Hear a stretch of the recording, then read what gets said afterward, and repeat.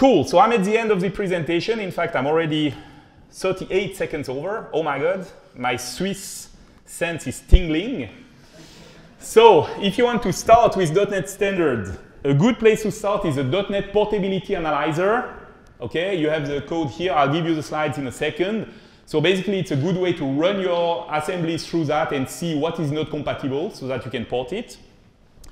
Another thing is the uh, NuGet package for MVVM Light, the .NET Standard version. Okay, and finally, here are a few resources for you, but basically all you need is at gslb.ch slash itcamp18-2, oops, dash 2, okay?